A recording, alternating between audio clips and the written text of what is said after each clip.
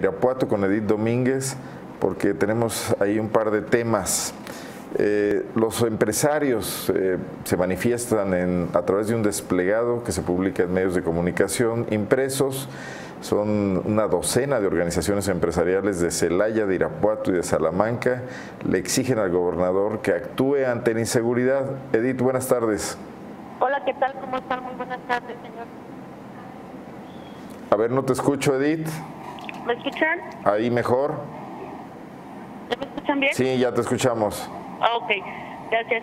Pues, eh, como usted lo puede comentar, son 16 empresarios los que firman este comunicado, eh, la mayoría de Irapuato, está Celaya y Salamanca, quienes pues eh, le exigen el alto a la grave inseguridad que se vive en la entidad. Ellos comentan que este al, gobernador, al Congreso del Estado y a los alcaldes de Irapuato, Salamanca y Celaya, pues que sea un alto a esta grave inseguridad, porque lejos del plan 2040, pues ven con tristeza la incapacidad del gobierno estatal y los municipios de Irapuato, Salamanca y Celaya, pues este que no han cumplido con esa responsabilidad, mientras los ciudadanos, ellos siguen este, cumpliendo con, con la de ella. Inclusive hoy comentan que los guanajuatenses y, este, y las organizaciones libres que se han formado este, estas organizaciones exigen que afronten el problema de la inseguridad con una decisión y firmeza. Sí, Edith, te escucho. Sí, que no vale comentar este, que por tiempos electorales pues impiden la acción o la, inacción ante este ante este hecho o comentar inclusive que no le corresponde este por el contrario pues deben de, cumplir con las promesas que estuvieron este, haciendo como en campaña y pues que deben devolver la confianza a los electores.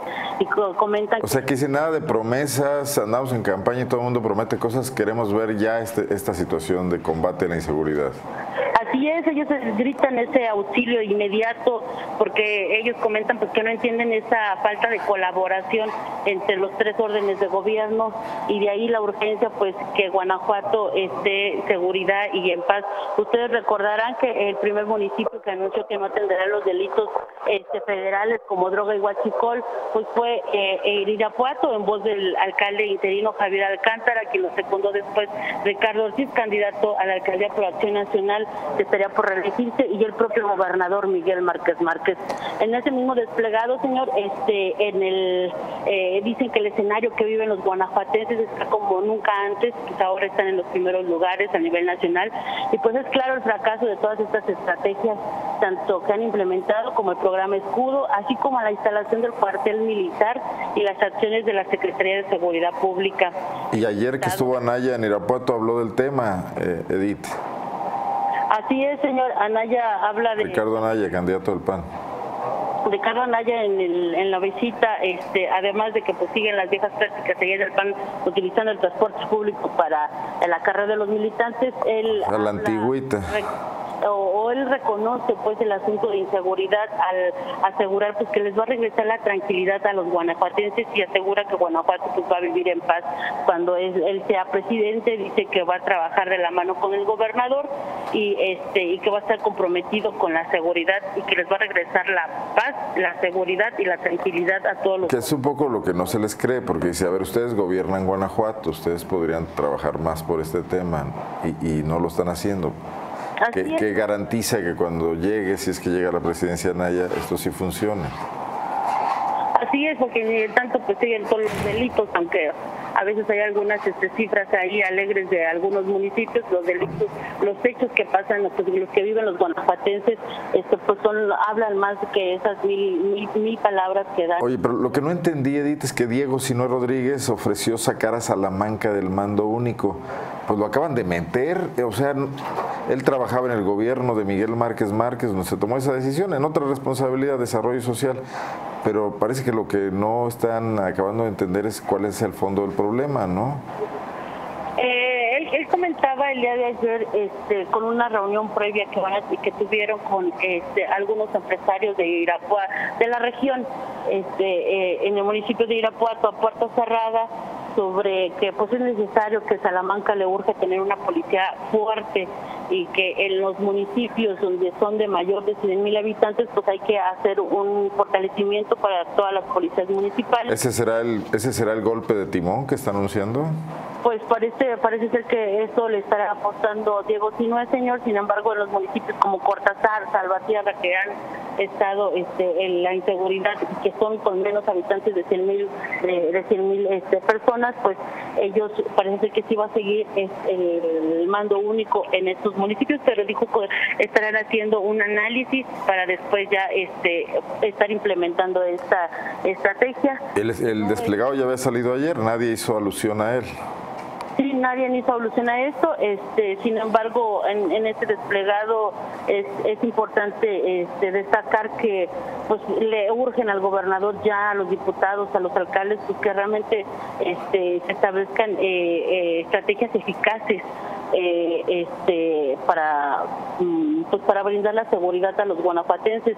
Ustedes recordarán que cuando llega la policía este, militar, este, donde Guanajuato y los municipios aportan este, pues más de 250 millones de pesos, eh, tenían la esperanza de que bajaran los, las ejecuciones, el, robo del hidrocarburo eh, y los delitos federales, sin embargo, pues no ha sido así. Para nada. los asesinatos. Y luego pasó lo de los, tránsitos. Y los de los centros de tránsito de Salamanca, los A ver, tiene consecuencias eso porque veíamos tu nota donde las renuncias al cuerpo de tránsito prosiguen, no se detiene este, esta deserción masiva.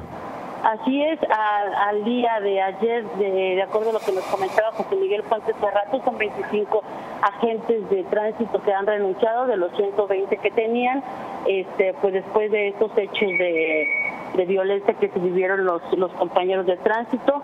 Este, hasta ahorita nos, nos quedan nada más 90, 95 eh, elementos de agentes de tránsito en Salamanca, señor. Correcto, y vamos a ver qué, respuesta hay al desplegar los empresarios, qué otras acciones además también instrumentan ellos mismos. Eh, gracias por el reporte. Nada más, este, sí quiero eh, resaltar algunas cosas en la misiva. Este, en días pasados, eh, Zona Franca también daba cuenta de la desesperación de los agricultores y empresarios donde Ignacio Agustín Soto Gutiérrez, presidente estatal del Consejo Alimentario Agroalimentario, que es también uno de los firmantes del día de ayer, ante la indiferencia del gobierno de Miguel Márquez Márquez, pues él solicitaba el apoyo del ejército para eh, toda esta zona del área rural, porque comentaban que han eh, acercado con Álvaro Cabeza de Vaca este, para que les muestre cuál es la estrategia que hay para el campo y se sienten abandonados, puesto que no hay una... ¿No, los, ¿no les responden? no, no hubo una respuesta este, de un plan específico para, para él, por lo menos les dijo que todavía este, el presidente del Consejo Agroalimentario pues no lo conocen. Otro de los problemas que él eh, comentaba es que eh, ya se habían reunido con Carlos este, para sostener algunas reuniones en los diferentes puntos y que se presentaran los avances de las denuncias que ellos han presentado. Sin embargo, pues este, ha sido pobre el, seguimiento que se le han dado a estos casos y comenta pues que el grave problema que se vive en el campo es que los, la mayoría de los ductos cruzan por las parcelas y pues ven grupos este, armados, eh, la delincuencia está ahí haciendo eh, la ordeña de los ductos y mientras se da la ordeña pues los, los campesinos, los empresarios no pueden trabajar y pues es que piden también el asunto de seguridad, señor. Correcto, correctísimo. Edith, muchas gracias por el reporte. De nada, muy buenas tardes. Buenas tardes.